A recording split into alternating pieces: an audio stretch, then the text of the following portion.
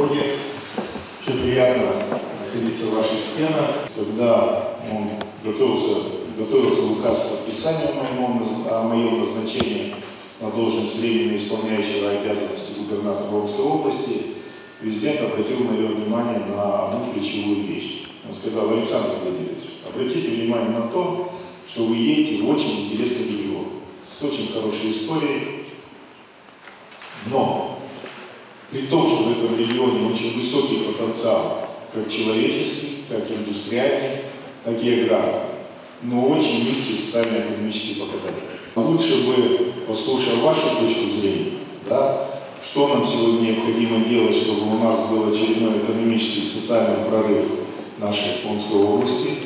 Да? Самое главное и ключевое, я хотел бы от вас, молодые люди, услышать, что сегодня власть должна делать, чтобы молодежь оставалась в регионе.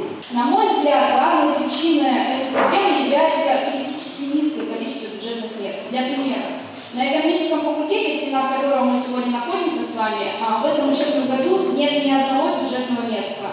Какой выход из ситуации видит глава региона?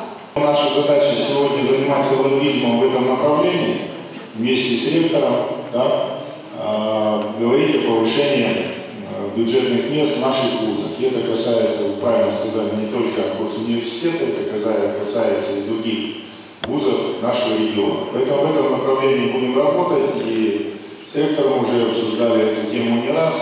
А будем готовить встречу э, с министром науки, министром образования и науки Российской Федерации.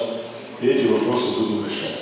Будет ли формироваться программа по предоставлению рабочих мест?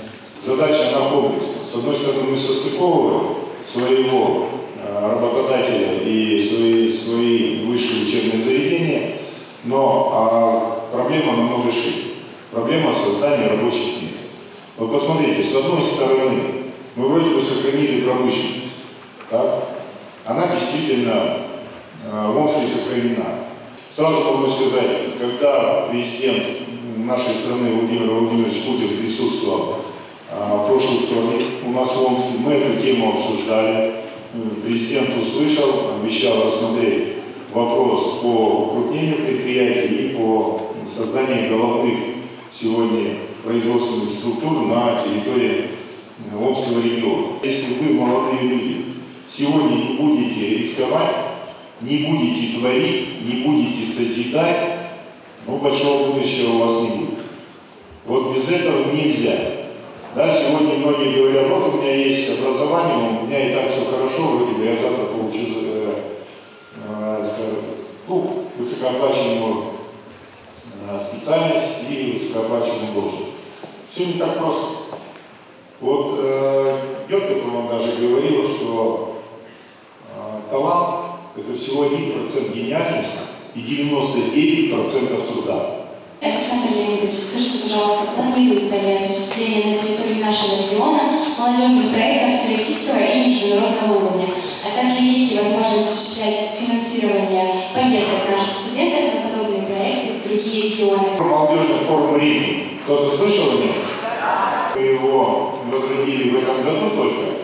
Но это первая ступень, дальше будет и ковида, и многое другое, когда мы будем направлять свою молодежь, потому что обмен опытом, знаниями это очень важно. Планируем провести международные дельфийские игры у нас в городе Омске в 2020 году. Что такое дельфийские игры, знаете? Да. Поэтому э, здесь э, мы работаем, безусловно, будем двигаться. Вот комитет по молодежи, они эту тему как раз продвигают. Вот их надо. Ну, вообще надо отдать должное. А, нашим ребятам у нас очень сильно волонтерское Практически 11% всей молодежи сегодня участвует в волонтерском движении. У нас очень сильно стройотрядовское движение.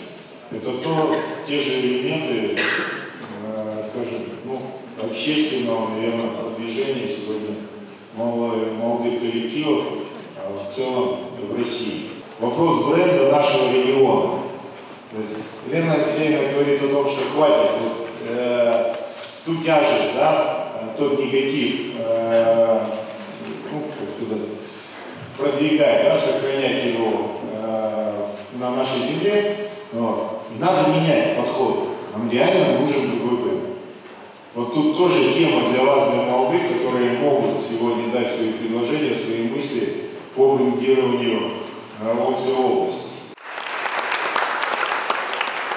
Ну, дорогие друзья, спасибо за вопросы. Хотел бы сказать вам огромное спасибо за эту открытую, пускай короткую беседу. Ну и пожелать, наверное, всем здоровья, счастья и мирного неба над головой.